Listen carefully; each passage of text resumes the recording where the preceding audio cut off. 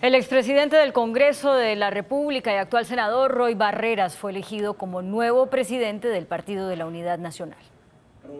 El senador Roy Barrera fue escogido por unanimidad como nuevo director del Partido Social de la Unidad Nacional.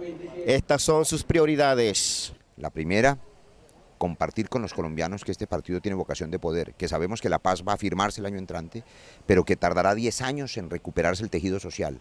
Por eso este partido tiene vocación presidencial y tendrá candidatura presidencial propia en el año 2018, después de una consulta interna con las bases de nuestra colectividad, que son millones de colombianos.